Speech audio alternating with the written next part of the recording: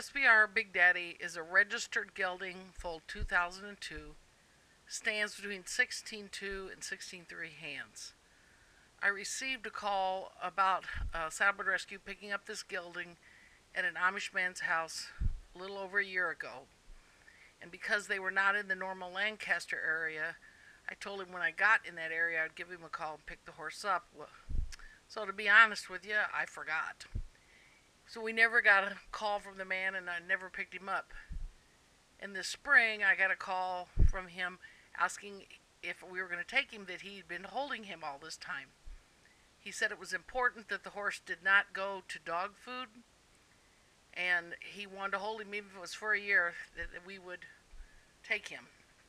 So I made a special trip and drove up picked up the horse. He was in pretty good shape, a little thin. The man told me that when he went up the big hills, the horse had trouble breathing. I at first thought maybe he was heavy or had roared, and to my surprise, the horse doesn't appear to have anything wrong with the breathing. We did have him checked out, he does not have heaves. I'm assuming the hills were just exceptionally large, and as he got older, it just got a lot harder for him to go up and down the mountains where the man lived. Uh, he said the horse was a little funny about the ears, but they'd spent time working with him, and they said sometimes he was funny standing tied up. Although I will say we have not had any trouble cross tying him in our aisles. He stands very quiet. This horse has something very, very special about him. He's very kind, very honest you just gotta like him. Uh, all the kids that have ridden him really like him. He's solid. He stays pretty much the way he is. He does canter, but he's forgotten the cues and the nuances of it as he was with a trainer for a couple years before he went on the road. So we are showing you him walk and trot as this is what he can do now, and the canter will work on it, get a video later.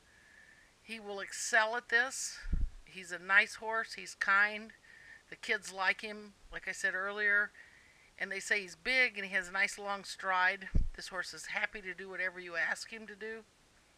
If you're interested in this horse or think he'll work for you, contact Saddlebred Rescue slash Erin McCracken and she can give you more information on this horse.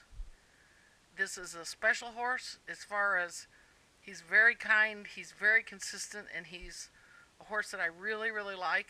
I like most of the horses, but this one has something in my mind that sets him apart from a lot of the others. He should be a usable horse for quite a while.